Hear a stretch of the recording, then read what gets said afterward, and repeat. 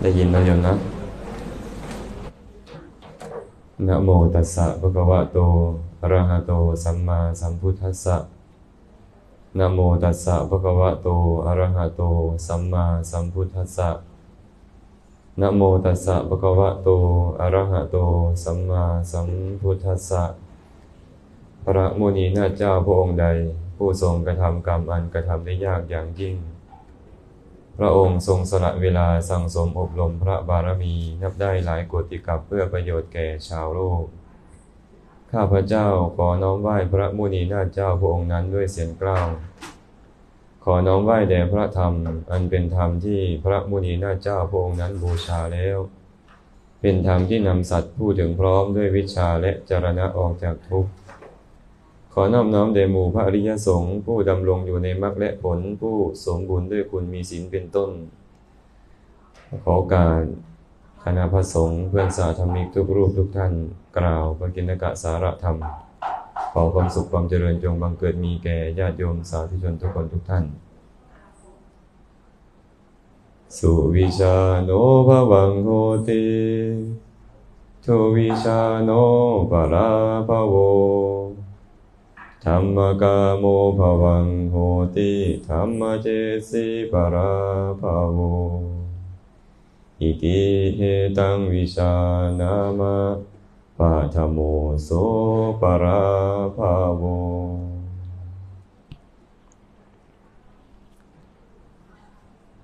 ก่อนอื่นหมดก็ต้องขออนุโมทนากับคณะศรัทธาญาติโยมบริษัทศิรินทร์ทิพย์อินเตอร์แพ็กใช่ไหม ที่ได้อาราธนานิมนต์ให้คณะพระเจ้าพระสงฆ์หมู่ใหญ่ เข้ามาสู่สถานที่ของตน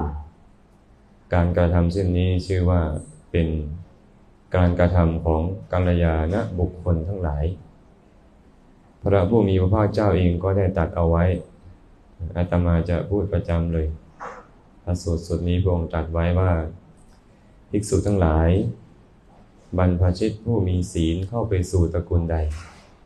ตระกูลนั้นย่อมได้รับบุญใหญ่ห้าประการ บุญใหญ่ห้าประการเป็นไฉนหนึ่งบรรพชิตผู้มีศีลเข้าไปสู่ตระกูลใด ถ้าชนในตระกูลนั้น ได้อยังความเลื่อมใสให้เกิดขึ้น ข้อนั้นจะเป็นปัจจัยให้เขาเข้าถึงสุคติโลกสวรรค์แล้ว ยังไม่ต้องทำอะไรเลยโยมนะแค่ทำใจให้เริ่มใสเกิดขึ้น ก็จะเป็นปัจจัยแก่สวรรค์แล้ว อีกข้อหนึ่ง หากเขาได้ลุกขึ้นไป ต้อนรับกราบไหว้ให้อาสนะ ข้อนั้นก็จะเป็นปัจจัยให้เขาเกิดในตระกูลสูง นี้ก็ยังไม่ได้ทำอะไรเลยโยมนะ ก็เป็นปัจจัยให้เกิดในตระกูลสูงได้แล้ว หากเขาชำระความตนีในใจเสียได้ ข้อนั้นก็จะเป็นปัจจัยให้เขาเป็นผู้ถึงพร้อมด้วยยศ ไม่ว่าจะเป็นยศตำแหน่งหรือเป็นยศบริวารก็ตาม จะเกิดขึ้นแก่บุคคลนั้น ผู้ที่ยังความตนีในใจให้ปราศจากไป ยังไม่ได้ถวายทานเลยโยมแค่นึกในใจว่าถ้าเรามีสิ่งใดไม่ว่าจะเป็นข้าว ไม่ว่าจะเป็นน้ำเราก็จะถวายสิ่งนั้นชำระความตนีได้ แต่ยังไม่มีการถวายเลย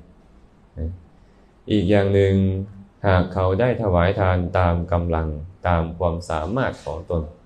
ก็จะเป็นปัจจัยให้เขาเป็นผู้มีความมั่งคั่งร่ำรวย มีโภคทรัพย์มาก ถวายทานตามกำลังที่สามารถทำได้ในขณะนั้นนั้นแต่ถ้าหากเขาได้เข้าไปนั่งใกล้เพื่อฟังธรรม สอบสวนทวนถามในสิ่งที่เป็นประโยชน์ทั้งหลาย ข้อนั้นจะเป็นปัจจัยให้เขาเป็นผู้มีปัญญามาก นี่แหละเป็นบุญใหญ่ห้าประการที่ บรรพชิตเข้าไปสู่ตระกูลใดตระกูลนั้นควรจะได้รับอาตมาก็คิดว่าพวกเราได้รับทั้งหมดเลยนะไม่ว่าจะเป็นการยังความเริ่มใสให้เกิดขึ้น การเข้าไปต้อนรับกราบไหว้ การชำระความตนีการถวายทานและก็พิเศษขึ้นมาอีกก็คือการฟังธรรมนะฉะนั้นวันนี้พวกเราจึงชื่อว่าเป็นผู้ได้บุญใหญ่จากบรรพชิตผู้มีศีล แต่การจะทำอย่างนี้ให้เกิดขึ้นได้นี่นะอยู่มันต้องมีความเข้าใจ มีความเข้าใจก่อนหลายๆคนต้องการบุญเหมือนกันนะ แต่ทำโดยไม่เข้าใจ เมื่อไม่เข้าใจก็ไม่สามารถทำได้ถูกต้องได้ กุศลแทนที่จะเป็นไปได้อย่างมโหฬารก็กลับได้เล็กน้อยลง การฟังธรรมจึงเป็นสิ่งที่สำคัญที่พวกเราควรทำความเข้าใจ อย่างโยมที่บริษัทจรินทิพย์เนี่ย รูบาอาจารย์ก็มาบ่อยนะ มาบ่อยท่านก็เทศให้ฟังตลอดเลยคงจะไม่ต้องพูดถึงแล้วส่วนนั้นว่าจะไม่เข้าใจในการกระทำบุญ แต่ว่าการเสพธรรมะบ่อยๆ นั้นก็เป็นสิ่งที่ดีอยู่ พระพุทธเจ้าเคยตัดไว้นะว่าเหตุเสื่อมของอุบาสก เหตุเสื่อมของอุบาสกเนี่ย ถึงแม้ว่าพระสูตรนั้นพระองค์จะบอกว่าอุบาสกก็ตาม แต่เนื้อความก็คืออุบาสิกาด้วย พระองค์บอกว่าหนึ่งเลยขาดการเยี่ยมเยือนพระภิกษุ ข้อที่สองละเลยการฟังธรรม ข้อที่สามไม่ศึกษาในอาทิศีลสิกขา ข้อที่สี่ไม่ยังความเริ่มใสให้เกิดขึ้นในพระเถระพระนวกะนวกะหรือมัชชิมะข้อที่ห้าก็คือการตั้งแง่เข้าไปฟังธรรมคำว่าตั้งแง่คือตั้งจิตติเตียนเอาไว้แล้ว แล้วค่อยไปฟังธรรม ไม่ยังความเคารพให้เกิดขึ้นกับผู้กล่าวธรรมด้วย ในธรรมนั้นด้วยเป็นต้นนะแล้วก็สแสวงหาเขตบุญอันมีในภายนอกสแสวงหาเขตบุญอันมีในภายนอกก็คือ ไม่เกี่ยวกับเรื่องศีลเรื่องทานไม่เกี่ยวกับพุทธศาสนาเลย และสุดท้ายก็คือตามสนับสนุน ศาสนาอันมีในภายนอกนั้น นี้เป็นเหตุเสื่อมเลยแต่ข้อต้นๆถ้าไม่มีแล้วข้อหลังจะหายไปหมดเลยข้อต้นจึงสำคัญ การไม่ละเลย ตรงกันข้ามก็คือเหตุไม่เสื่อมก็ตรงกันข้ามนี้ การไม่ละเลยการเยี่ยมเยียนพระภิกษุ จึงเป็นสิ่งที่สำคัญมากอยู่ เมื่อมีการไม่ละเลยเข้าไปหาพระภิกษุบ่อยๆ การฟังธรรมจะเกิดขึ้น การฟังธรรมก็จะมีมา เราได้ยินได้ฟังธรรมบ่อยๆ เห็นโทษของความเป็นผู้ทุศีล เห็นโทษของความตนีเห็นโทษของความเป็นผู้ไม่มีศรัทธา แล้วสิ่งอื่นมันก็จะตามมาหมดเลย ฉะนั้นการฟังธรรมบ่อยๆก็เป็นเรื่องที่สำคัญ เพื่อให้เข้าใจแจ่มแจ้งยิ่งยิ่งขึ้น มีเทวดาตนหนึ่งไปถามพระพุทธเจ้า อะไรเนาะเป็นเหตุเสื่อม เป็นเหตุแห่งความเสื่อม พระพุทธเจ้าก็ตัดคาถาที่อาตมาตัดกล่าวไว้เมื่อกี้นี่แหละว่า สุวิชาโนพระวังโหติ ทุวิชาโนปาราพ่อโว ธรรมกาโมพระวังโหติธรรมเทศสีปาราพโว อิติเหตังวิชานามะปะทโมโสปาราพโว การรู้ดีเป็นเหตุให้เจริญ แต่การรู้ชั่วเป็นเหตุแห่งความเสื่อม ผู้ใคร่ธรรมเป็นผู้เจริญ ผู้ชังธรรมเป็นผู้เสื่อม พวกเราทั้งหลายย่อมรู้กันอย่างนี้ว่า นี่แหละเป็นข้อแรกของความเสื่อมทั้งหมดทั้งมวล ความเสื่อมมันจะเกิดขึ้นไม่ได้เกิดขึ้นจากสิ่งอื่นก่อนนะ มันเกิดขึ้นมาจากความรู้ชั่วคำว่ารู้ชั่วก็คือรู้สิ่งที่ไม่ดี รู้บายโกนโกง รู้วิธีการทำบาปนี่เรียกว่ารู้ไม่ดี ถ้ารู้ไม่ดีเนี่ยมันเสื่อมแน่นอน รู้ไม่ดีคือมันก็เห็นไม่ดีใช่ไหม เห็นไม่ดีก็คิดไม่ดี พูดไม่ดีทำไม่ดีเรียงชีพไม่ดีภาคเพียรไม่ดี ระลึกไม่ดีแล้วก็ตั้งจิตไว้ไม่ดีตามมาทั้งหมดเลย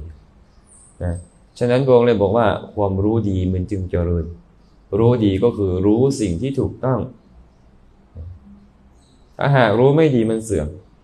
ทีนี้ทำอย่างไรถึงจะรู้ดีพระองค์เลยตัดในคาถาเดียวกันเลยว่าธรรมกาโมพ่อวังโหติ เมื่อคุณอยากรู้ดีคุณก็ต้องใคร่ในธรรม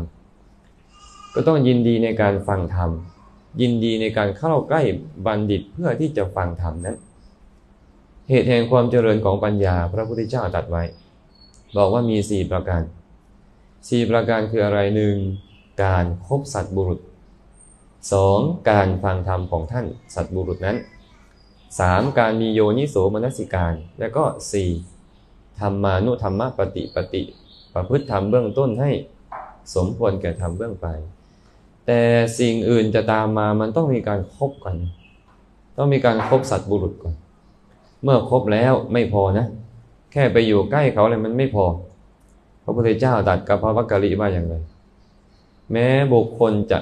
ติดตามรอยพระบาทของพระองค์ไปถือสังคาติถึงชายผ้าสังคติของพระองค์อยู่ หากไม่เข้าใจธรรมเลย ไม่เห็นธรรมเลยบุคคลนั้นไม่ชื่อว่าเห็นพระพุทธเจ้าเลย ชื่อว่าอยู่ห่างไกลพระพุทธเจ้าใช่ไหม ฉะนั้นเราเข้าไปใกล้บัณฑิตก็เช่นกัน หากเราแค่เข้าไปจับทรายสังคติของท่าน หรือว่าไปนั่งใกล้ท่านเท่านั้น แค่นี้ไม่พอ เราต้องฟังธรรมของท่านด้วยนะต้องมีการฟังธรรม แต่เมื่อมีการฟังธรรมแล้ว ใส่ใจไม่ดีมันมีโทษอีกนะบางคนเข้าไปหาครูบาอาจารย์นั่นแหละ มีศรัทธาดีเบื้องต้น แต่ว่าไปฟังธรรมจากครูบาอาจารย์ ครูบาอาจารย์ก็เทศนะโยม ในพระไตรปิฎกมีเรื่องที่เทศมากมาย ทั้งเรื่องที่ชี้โทษ ทั้งเรื่องที่บอกคุณ ท่านก็บอกคุณด้วยชี้โทษด้วยตัวเองใส่ใจไม่ดี ก็หาว่าพระเนี่ยไป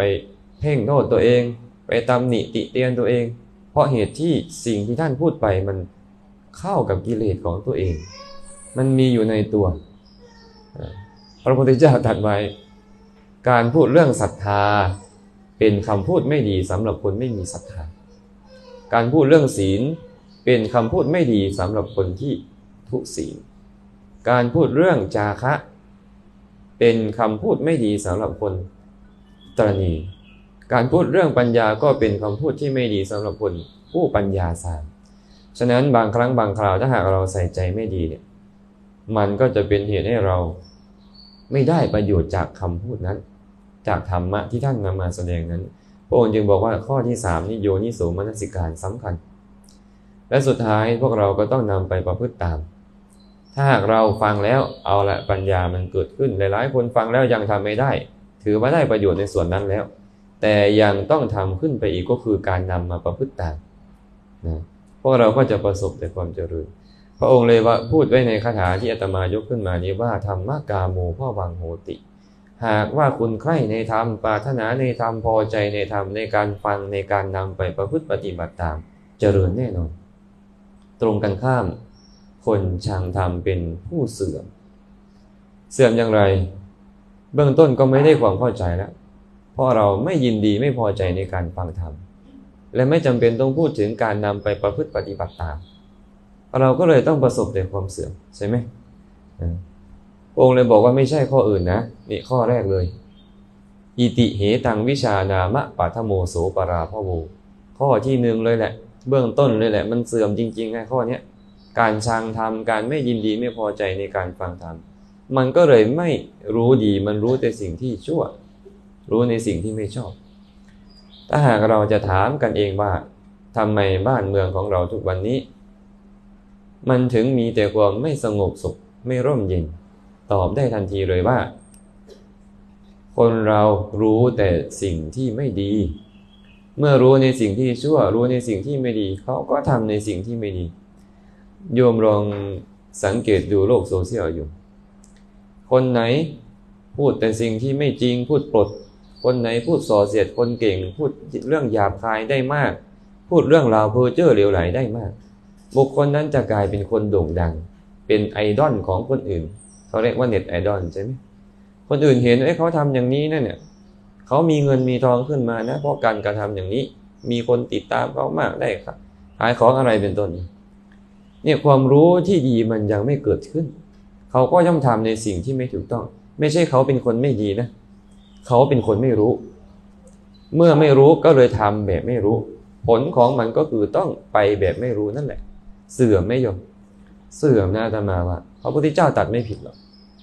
ฉะนั้นพวกเราก็เลยต้องมาทำความรู้ อาตมานึกถึงอุบาสกคนหนึ่ง พวกโยมน่าจะรู้จักกันดีได้ยินชื่อกันดี จุนทะกรรมมารบุตร คนที่ถวายสุกรมัทวะให้พระพุทธเจ้าตอนพระองค์จะเสด็จดับขันธปรินิพาน พระผู้มีพระภาคเจ้าได้ไปประทับอยู่ในสวนของแกนะอยู่ใกล้เมืองปาวาน แกก็เข้าไปเฝ้าพระผู้มีพระภาคเจ้า พระองค์ก็เลยตัดถามแกว่าดูก่อนจุนทะ ท่านชอบใจในความสะอาดของใคร แกก็ตอบพระพุทธเจ้าว่าข้าแต่พระองค์ผู้เจริญ พวกพราหมณ์ที่อยู่ในปัจฉาภูมินี้คือเขามีถิ่นฐานอยู่ตรงนี้มาแต่การก่อนแล้ว เป็นผู้มีปกติ มีมือถือน้ำเต้า สวมพวงมาลัยสาหร่าย บำรุงบำเรอไฟ และลงไปอาบน้ำทั้งเช้าทั้งเย็นวันละสามครั้ง เขาบัญญัติความสะอาดเอาไว้ ข้าพระองค์ชอบใจในความสะอาดของพวกพราหมณ์เหล่านั้น ก็ไม่มีใครในแถวนั้นมีแต่พวกนี้กล่าวความสะอาดเอาไว้ กล่าวความบริสุทธิ์เอาไว้ ข้าพระองค์เลยชอบใจในรัฐิของเขา พระผู้มีพระภาคเจ้าก็ถามต่อว่า จุนทะแล้วเขา บัญญัติความสะอาดไว้อย่างไร พวกพราหมณ์พวกนี้บัญญัติความสะอาดไว้อย่างไร แกกล่าวทูลพระพุทธเจ้าว่าข้าแต่พระองค์ผู้เจริญ พราหมณ์เหล่านั้นได้ สอนสาวกของตนอย่างนี้ว่า พวกท่านทั้งหลาย จงลุกขึ้นมาแต่เช้าตรู่แล้วเอามือไปจับต้องแผ่นดินนะ หากไม่จับต้องแผ่นดินก็ให้จับต้องโคไมสดขี้วัว โคไมสด หากไม่จับต้องโคไมสดก็ให้จับต้องของเขียวสด หากไม่จับต้องของเขียวสด ให้พวกท่านบำเรอไฟ คือจุดไฟบำเรอบูชาพรมอะไรของพวกเขานั่นแหละ หากไม่บำรุงบำเรอไฟก็ให้ประคองอัญชลีนอบน้อมต่อพระอาทิตย์ หากไม่ประคองอัญชลีนอบน้อมต่อพระอาทิตย์ ก็ให้ ลงน้ำทั้งเช้าทั้งเย็นวันละสามครั้ง ให้ทำแบบนี้ นี้แหละพระองค์ผู้เจริญ พวกพราหมณ์ทั้งหลายเหล่านั้น เขาบัญญัติความสะอาดไว้อย่างนี้ เขาบอกว่าถ้าหากตื่นมาแต่เช้าเนี่ยเอามือไปจับต้องแผ่นดินนี้จะบริสุทธิ์จะสะอาดจะผ่องแผ้ว ถ้าไม่ทำอย่างไรให้ทำอีกอย่างก็ได้ คือไปจับขี้วัว ไปจับโคไมโคไมสด มันถ่ายออกมาใหม่ก็ไปจับเลย บริสุทธิ์แน่นอนว่างั้นนะถ้าหากว่าไม่ทำอย่างนั้นก็ให้ไปจับของเขียวสดอย่างใดอย่างหนึ่ง พวกหญ้าพวกตินาชาติ หรือไม่ก็ให้บำเรอไฟ หรือไม่ก็ตื่นเช้ามาก็ประคองอัญชลีไปด้านทิศพระอาทิตย์แล้วก็สรรเสริญพระอาทิตย์อยู่นั่นแหละ หรือไม่ก็ลงอาบน้ำหากใครเคยไปพาราณสีนะแม่น้ำคงคาจะเห็นเลย ไปแต่ตีสี่ก็จะเห็นเขาอาบน้ำตั้งแต่ตีสี่หน้าหนาวด้วยนะสันสะท้านอยู่นั่นแหละอาตมายังชอบใจคำของนางปุณณาทาสีพามใครสอนท่านว่าลงไปในน้ำอาบน้ำแล้วจะมีแต่ความเจริญจะล้างบาปกรรมได้ ใครเนาะช่างโง่อย่างนั้น แล้วก็มาสอนท่านผู้เป็นคนโง่ด้วย โอ้ แกพูด ไม่ธรรมดาเลยนางปุณณาเลยนะ ถ้าหากเป็นเช่นนั้น พวกปลาพวกเต่าในน้ำมันคงไปสวรรค์กันหมดใช่ไหม ได้สติขึ้นมาปลานี่บางทีมันต้องอาศัยคนบางคนเข้าไปแก้ทิฏฐิให้ ตอนยังไม่เห็นไม่ได้ยินเรื่องราวที่มันมาสะกิดใจบางทีเขาไม่เห็นว่าเขาทำไม่ถูกพวกพรามเหล่านั้นก็เป็นอย่างนั้น นาจุนทะก็ กราบทูลพระผู้มีพระภาคเจ้าว่าเหตุแห่งความบริสุทธิ์ เหตุแห่งความผ่องแผ้ว เหตุแห่งความสะอาดของเขาเขาทำกันแบบนี้ พระผู้มีพระภาคเจ้าได้สดับคำของนายจุนทะแล้วก็ได้ตรัสว่าดูก่อนจุนทะ ความสะอาดที่พวกพราหมณ์บัญญัติเป็นอย่างหนึ่งนะ แต่ความสะอาดของพระอริยเจ้าเนี่ยเป็นอีกอย่างอื่น ไม่เหมือนกันนะ ไม่ใช่ว่าใครบอกว่าสะอาดมันก็จะสะอาดหมดนะ สะอาดแบบปุถุชนคนเขาก็อย่างหนึ่ง สะอาดแบบพระอริยเจ้าผู้ประเสริฐแล้ว รู้แจ้งแล้วก็อย่างหนึ่ง พระองค์ไม่ได้ทำให้บัวช้ำน้ำขุ่นก็พูดว่าเออนั้นก็ดีแล้วแหละของเขาทำแบบนั้นนะแต่ว่าพระอริยเจ้าเนี่ยท่านผู้ประเสริฐเนี่ยเขาไม่ทำกันอย่างนั้น เขาทำแบบอื่น นายจุนทาไข่รู้อยู่คนเวลาที่มันไม่ไปประหักประหารกัน พูดเหมือนกับรักษาน้ำใจกันเขาก็จะไข่รู้ยิ่งขึ้นไป ฉะนั้นเวลาเราไปพูดธรรมะไปแนะนำคนอื่นก็เหมือนกันนะ เธอทำไม่ถูก อย่างนี้ใช้ใช้ไม่ได้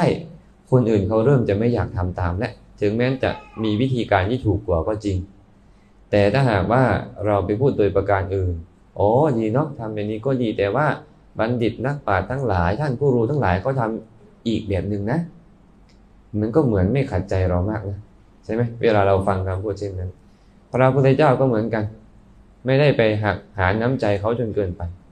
ก็พูดว่าปุถุชนทำอย่างหนึ่ง พระริยเจ้าทำอย่างหนึ่ง เมื่อเป็นเช่นนั้น นายจุนทะก็ขาบทูลพระพุทธเจ้าว่าข้าแต่พระองค์ผู้เจริญ แล้วพระอริยเจ้าเนี่ยเขาบัญญัติความสะอาดไว้อย่างไร เขาทำอย่างไรขอพระองค์จงแสดงธรรมแก่ข้าพระองค์อย่างนั้นเถิดเนี่ยอยากจะรู้ขึ้นมาทันทีว่าเขาทำอย่างไรเนาะท่านผู้ประเสริฐเนี่ยเขาถึงเป็นผู้ประเสริฐกัน อันนี้ตมาจะพูดย่นย่อลงมา พระพุทธเจ้าก็เลยตรัสว่า ดูก่อนจุนทะ ถ้าอย่างนั้นเธอจงใส่ใจให้ดี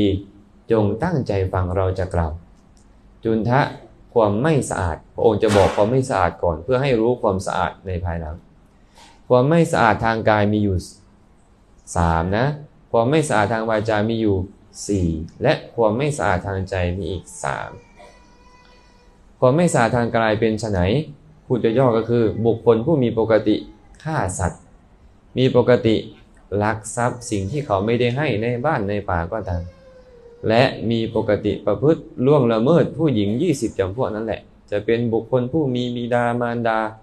คุ้มครองรักษาพี่ชายน้องชายพี่สาวน้องสาวหรือตระกูลทำหรือกฎหมายรักษา หรือแม้แต่เป็นภรรยาของคนอื่นที่เขา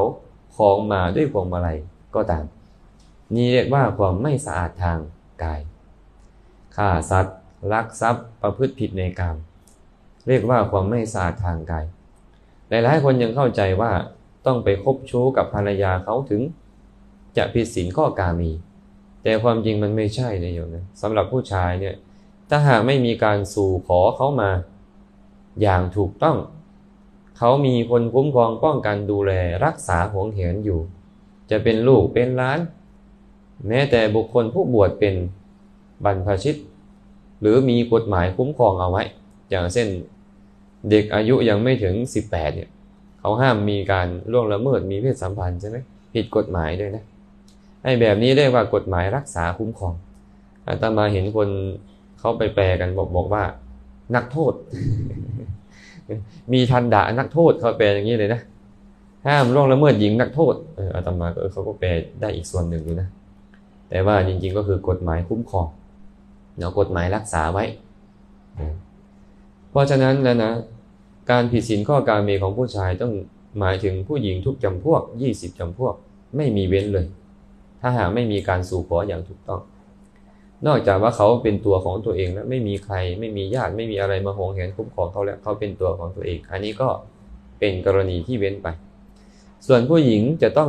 ผิดศีลข้อการมีก็คือ ตนเองมีคู่มั่นแล้ว มีสามีแล้ว หรือว่ายอมรับการอยู่ร่วมกับชายอื่น ฉันสามีภรรยาแล้ว โดยที่สุดแม้แต่เอาน้ำรดบ้านเรานิยม เอาน้ำสังไปรดมือ ให้เป็นสามีภรรยากัน หากเขาไปร่วมหลับนอนกับชายอื่นจากนั้น นั้นเป็นการผิดศีลข้อการมี ถ้าหากผู้เป็นบรรพชิตเป็นอุบาสิกาผู้ที่รักษาศีลแบบบรรพชิตเป็นอนาคาริกไปร่วม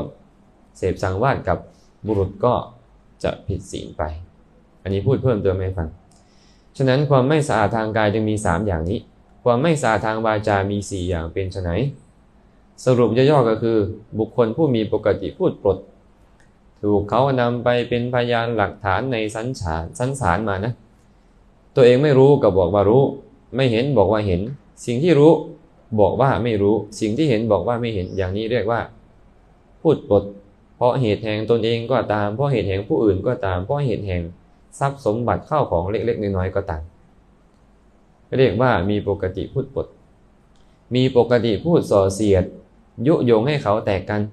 เอาความข้างนี้ไปบอกข้างโน้น เอาความข้างโน้นมาบอกข้างนี้ เพื่อให้เขาแตกกันทำลายกัน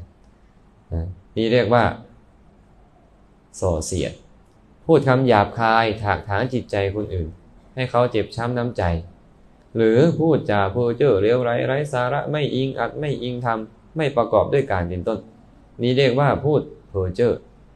สี่อย่างนี้เรียกว่าความไม่สะอาดทางวาจา ความไม่สะอาดทางใจเป็นไฉนบุคคลบางคนในโลกนี้มีจิตเพ่งเล็งอยากได้ของคนอื่น อยากได้ทรัพย์เครื่องปลื้มใจของคนอื่นด้วยคิดว่าทำไฉนหนอ สิ่งของของชนเหล่านั้นจะพึงมาเป็นของเรา นี้เรียกว่าอาพิชา อยากได้เฉยๆยังไม่เป็นอยู่ ต้องอยากได้และน้อมเข้ามาว่าพึงเป็นของเรา หากอยากได้เฉยๆก็เป็นแค่ความโลภธรรมดา หากอยากได้แล้วน้อมเข้ามาหาตนจึงชื่อว่าอภิชา เพ่งเล็งอยากได้ของผู้อื่น บุคคลมีจิตคิดพยาบาทมาตร้ายคนอื่น ด้วยจิตว่าขอคนนี้จงวิบัติจงพีนาเสื่อมสูญจงตายอย่างนี้เป็นต้น นี่เรียกว่ามีจิตพยาบาท และมีความเห็นผิดเห็นว่าการให้ทานไม่มีผล การบูชาไม่มีผล การบวงสรวงไม่มีผล ผลของกรรมดีกรรมชั่วไม่มี สัตว์ผู้ตายจากโลกนี้ไปสู่โลกอื่นไม่มี สัตว์ผู้ตายจากโลกอื่นมาสู่โลกนี้ไม่มี บุญคุณของบิดามารดาที่ยิ่งกว่าคนอื่นไม่มี สัตว์ผู้เป็นโอปปติกะอุบัติขึ้นในโลกไม่มี สมณพราหมณ์ผู้ประพฤติปฏิบัติชอบรู้แจ้งโลกนี้โลกหน้าเองแล้ว สอนให้คนอื่นรับรู้ด้วยไม่มีในโลก ปฏิเสธว่าพระพุทธเจ้าเนี่ยไม่มีในโลก นี้เรียกว่ามิจฉาทิฏฐิสามอย่างนี่แหละเรียกว่าความไม่สะอาดทางใจ ดูก่อนจุนทะอกุศลกรรมบุตรสิบประการนี้ จุนทะบุคคลใดก็ตาม ถึงเขาลุกขึ้นมาแต่เช้าตรู่ หากเขาประกอบด้วยอกุศลกรรมบทนี้สิบประการนี้อยู่ คือ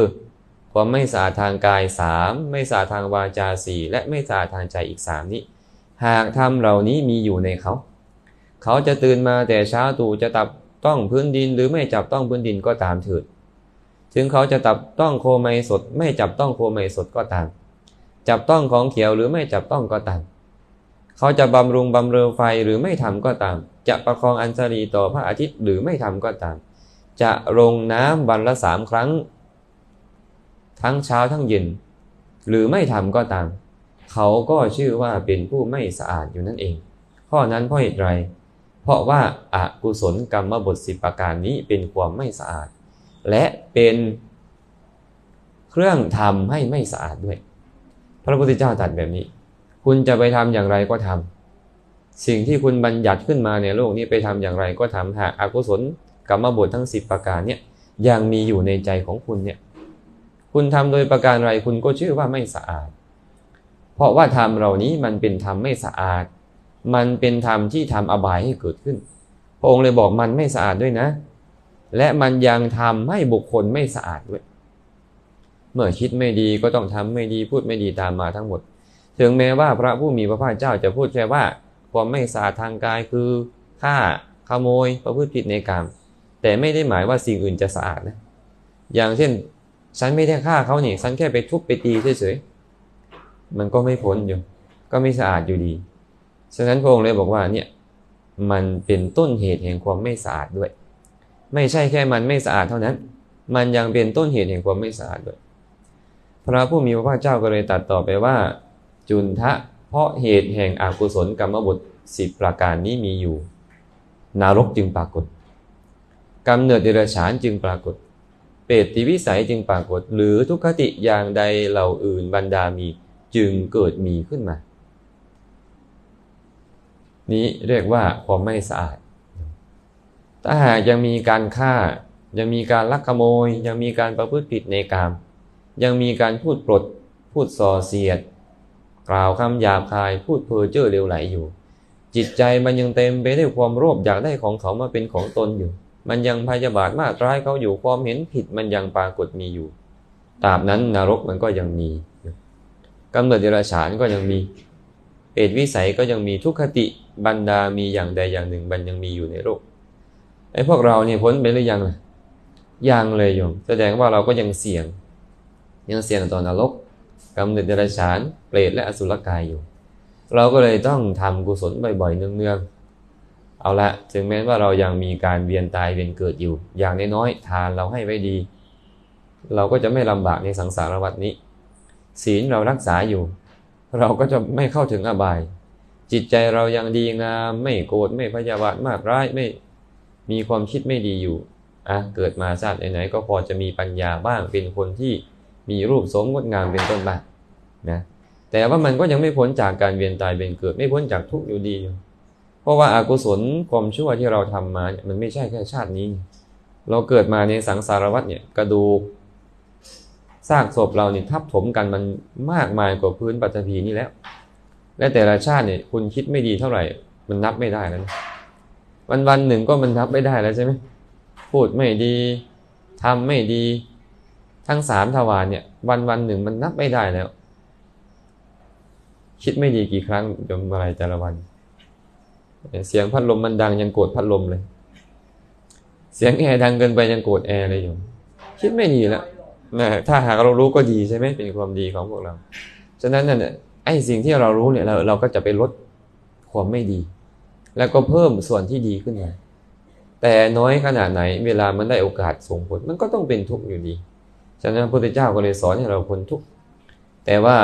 คนเรายังมีการเวียนว่ายมันก็ต้องมีกุศลคุณงามความดีไปนะตรงกันข้ามโยม พระพุทธเจ้าก็บอกว่าความสะอาดมีอยู่สามประการนะ สะอาดทางกายสามทางวาจาสี่และทางใจสามก็ตรงกันข้ามกันเป็นกุศลกรรมบท ไม่ฆ่าสัตว์ ไม่ลักทรัพย์ ไม่ประพฤติผิดในกาม ไม่พูดปด ไม่พูดส่อเสียด ไม่พูดคำหยาบคาย ไม่พูดเพ้อเจ้อเหลวไหล ไม่เพ่งเล็งอยากได้ของคนอื่นมาเป็นของตน ไม่พยาบาทมาตร้ายใคร และมีความเห็นตรง เห็นว่าบาปมีบุญมีการให้ทานบูชาบงสวงมีผลเป็นต้น พระผู้มีพระเจ้าก็เลยตรัสว่า หากว่าเขามีธรรมสิบประการคือกุศลกรรมบทนี้อยู่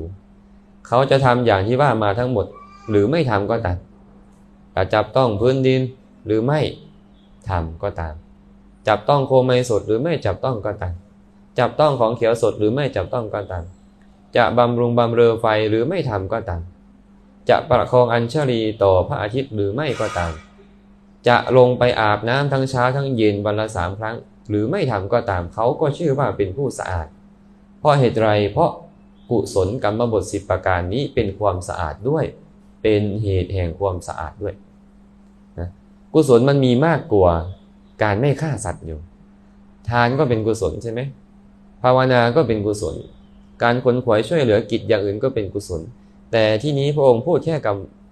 กุศลกรรมบทสิบประการ พระองค์เลยใช้คำว่าเป็นเหตุแห่งความสะอาดอย่างอื่นด้วย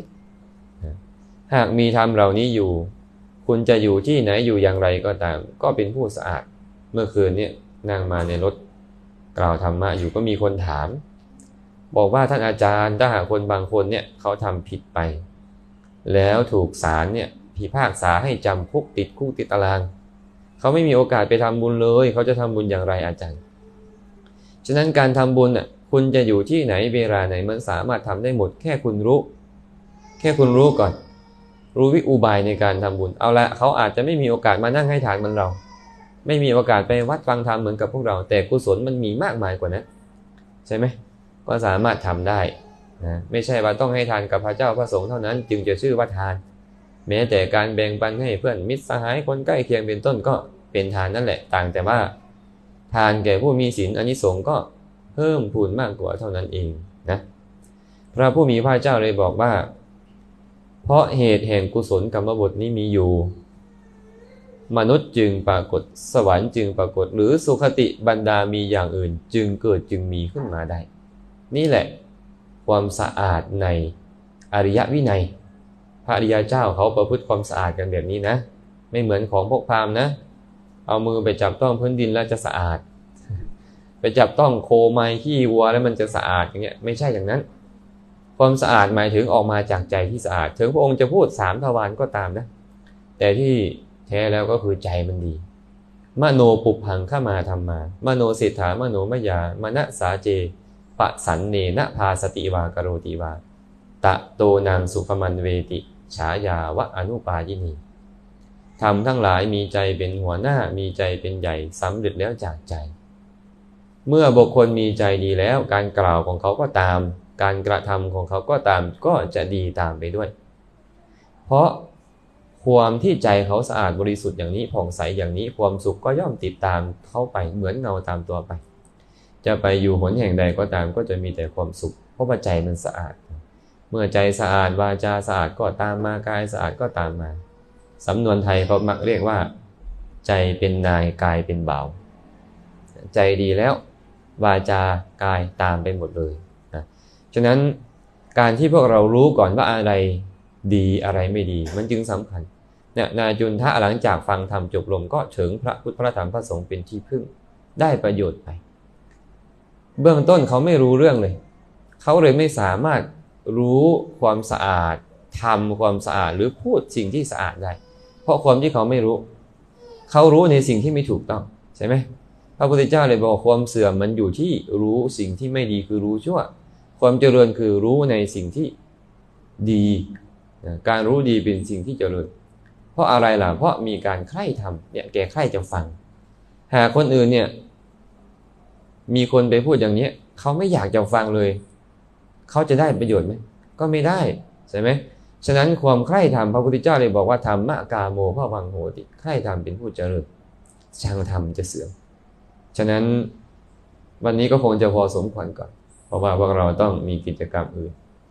ก็ยิบหยิบยกพุทธพจน์ขึ้นมากล่าว เพื่อเป็นเครื่องกระตุ้นกุศลศรัทธาของเราให้มีกำลัง สิ่งไหนที่เรา ได้ทำไว้ดีแล้ว เราก็จะทำให้มันดียิ่งขึ้น สิ่งไหนที่ยังพลาดพลั้งอยู่อย่างบกพร่องอยู่พวกเราจะได้ปรับปรุงแก้ไข